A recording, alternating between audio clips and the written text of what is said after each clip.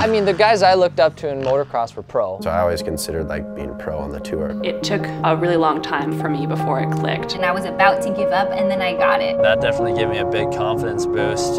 Pretty good, man. We'll put you on the team. Really? Oh, yeah, we'll put you on the C team. We always looked in the pits like, dude, look at that factory bike, you know, like, yeah. And we couldn't get in the pits, you know. I was still like nine or 10 years old, so I, I didn't really know much, you know. And I was the little annoying kid in the shop asking a million questions. What's the best board? Oh, how do you do this trick? Oh, how do you do that? Oh, cool. Can I see that? Can I see it? And not buy anything. For a long time, I really didn't realize that being a professional skier was an option. I just wanted to, wanted to surf and it looked fun and it seemed rad. Once I realized, you know, you could become professional, you know, that's what I set my eyes on. From there, they put me in like little ski lessons and stuff. I'm like, oh my God, I'm making progress. That was my first milestone, my first type of like shark smells a drop of blood in water, like, okay. Yeah, I think I, I think I could do it. That was it. As far as I was concerned, that was going to be my career. I mean, it was a long ways away. Someone asked me the other day, what do you do for work? And I'm like, I surf.